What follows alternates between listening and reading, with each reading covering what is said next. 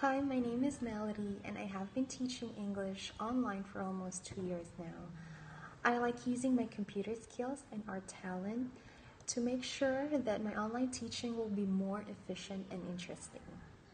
I would love to share my creative ideas and experiences to help you develop your abilities and enjoy your learning journey. I also believe that learning should be an exciting and enjoyable process. When you are learning, you are actually creating a new and better self.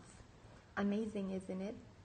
I am really looking forward to sharing and learning with you. Feel free to contact me. See you!